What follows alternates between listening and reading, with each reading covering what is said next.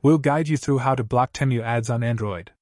If you find this helpful, consider liking the video and subscribing to the channel. So go ahead and open up the Temu app. Once inside, you need to go into your account. To do that, click on the U button at the very bottom of the screen. Then click on the gear icon in the top right.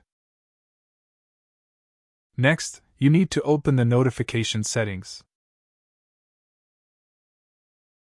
Here you will see a list of all the various notifications you may be receiving from Temu. The most commonly received notifications will be coming from your recommendations, so click on that option.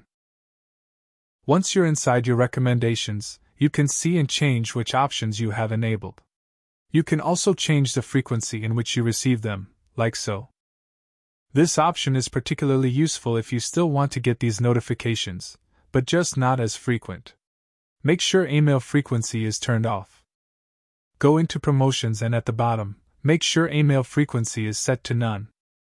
You can turn off every notification if you would prefer to have no communications at all apart from updates regarding any orders you have made.